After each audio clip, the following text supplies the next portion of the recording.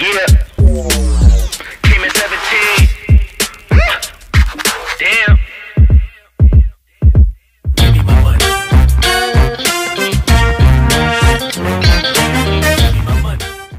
Hello sa inyong lahat. Welcome ulit sa aming munting bahay, Jobler TV. Ito na naman ako. Magdadaldal na naman. Kakatapos na ng trabaho ko, so dito ako galing. Building na to. Ayan. Tapos, katapat nitong bahay ng amo ko ay isang park.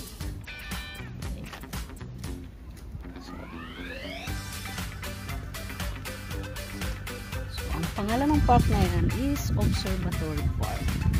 Tara, silipin natin yun. Tatawid lang tayo. Naririnig yung ingay ng mga bata. Kasi mayroong daycare dyan. Yan mga naglalaro. Dyan, may daycare. Tapos mga naglalaro na yung mga chikitings doon kasi nagaantay na yan mga pick up ng kanilang mga gulang. So, akit tayo dito.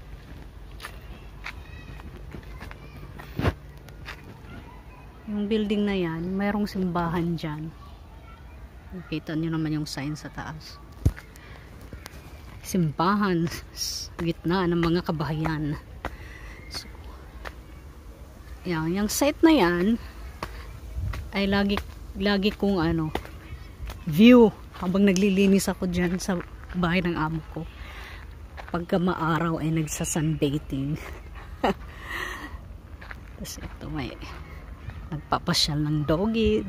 Dito din pinapasyal ng amo ko yung mga dogs nila kasi meron silang dalawang dogs. Maganda dito.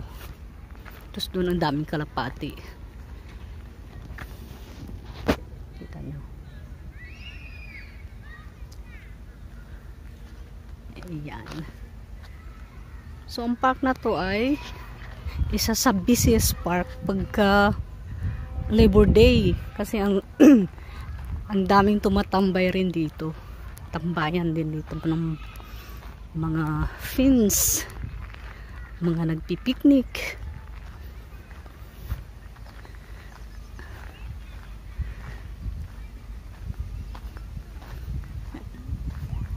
So, yung building na nakikita nyo dyan is part na yan ng ano ng hospital Chirurgeon Hospital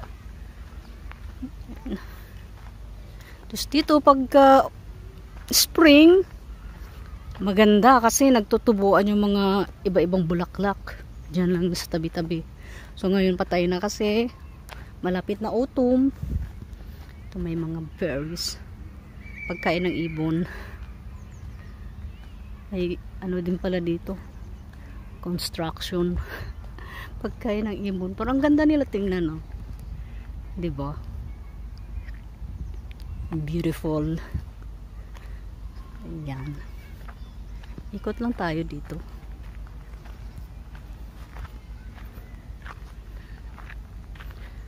Mag-isa ako kasi kakatapos lang ng trabaho at magkahiwalay kami ni Larry. So it's just me job. Na-amaze ako sa building na to. Parang ano may parola sa taas. Parang may watchtower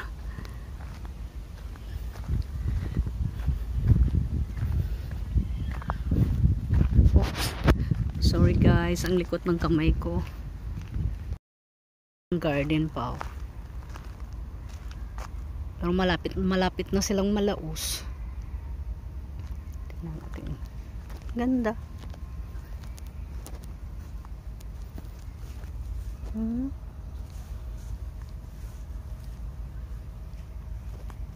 namamatay na nga yung iba. Kasi malapit na autumn beautiful Ayan.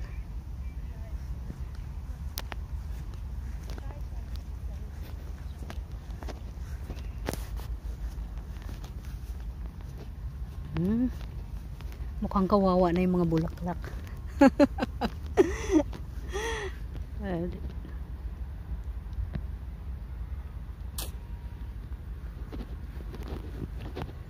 So, ikot muna tayo. Ah, dito mayroong ano children's playground. Ayan o. Pwede maglaro ang mga bata. Tapos kita rin dito sa part na to, yung White Church.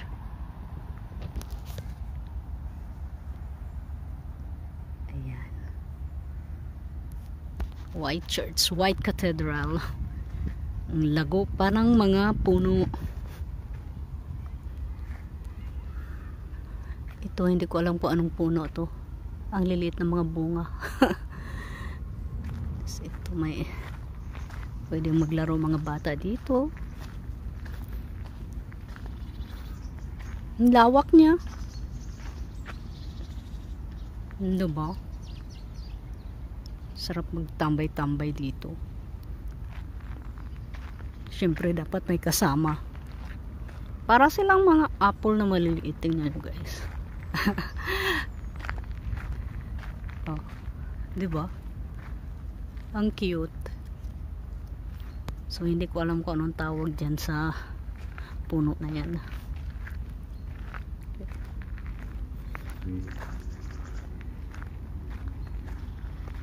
Ayan. Tapos punta tayo dun sa bandang dulo.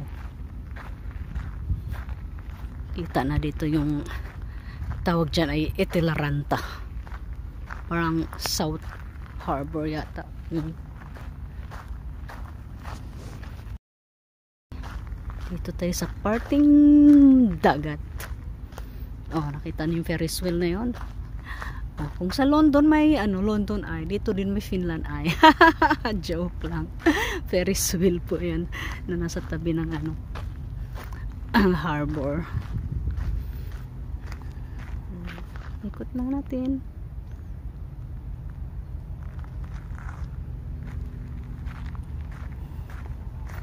Again, nandito po tayo sa Observatory Park. Dito lang sa may Tatitornin Katu. Yan. Meron tayong nakitang barko. Cruise ship. So, dito may kalsada.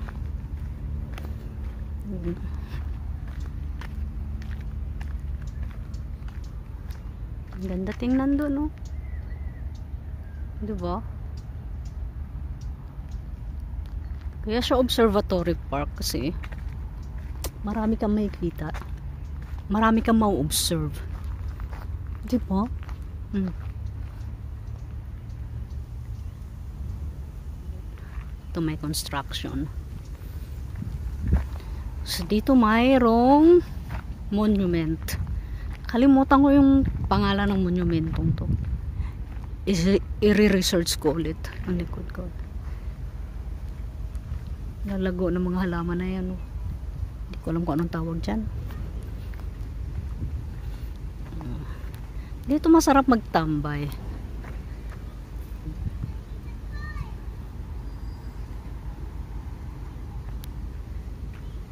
Diba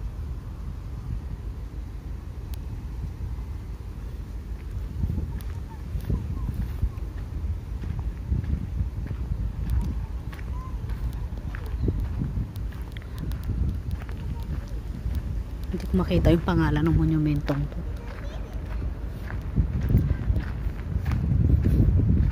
Wala, walang nakalagay. Ayan, mayroong cruise ship. Celia Symphony Celia Line. Biyahe yan ng ano, Finland, Sweden. And then Sweden, Finland. Laki no? Nakasakay na kami dyan twice And then yung isa, Celia Serenade. Nakasakay na ako isang beses. So, yan ang Olympia Terminal. Yun o. Olympia Terminal eh. Tapos, pwede tayong bumaba dito eh.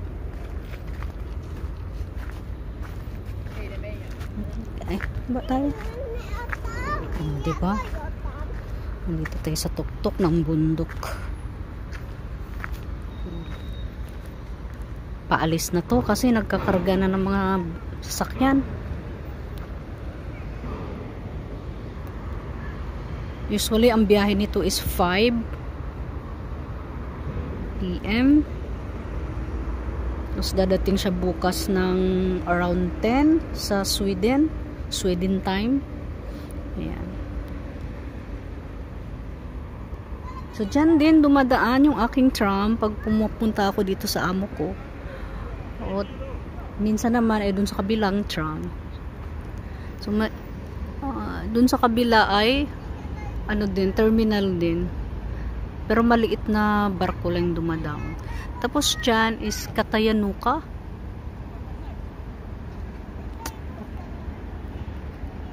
Yan, dyan part na yan. Natakpan ng ano eh, Celia. Doon naman ang daungan ng Viking Line. Biyahing Sweden din. Tingnan natin kung makikita. So, wala. Hindi siya kita.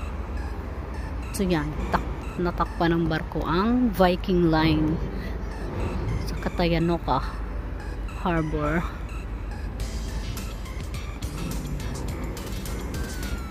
Ayan.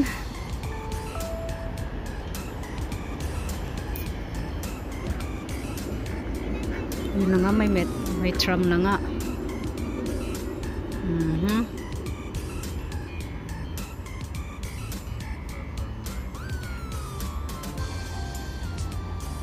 Ganda ng view dito, no? Relaxing. Yan pwedeng umupo. May upuan.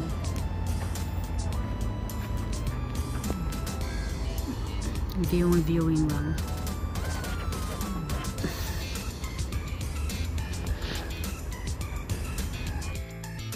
Okay guys, pauwi na ako.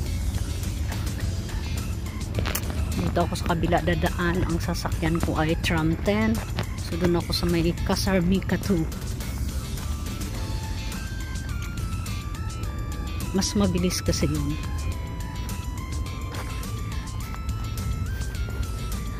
So, thank you sa inyong lahat. I hope you like the view. Sana nagustuhan nyo yung Observatory Park. And thank you for watching. salamat sa panonood. At sa mga manonood. Maraming maraming salamat. Mega love shout out sa inyong lahat. And please like and subscribe our channel para sa ekonomiya. 'Di ba? Para daw sa ekonomiya. And mega love shout out sa lahat. Sa inyong lahat. Thank you very much and see you again. Bye.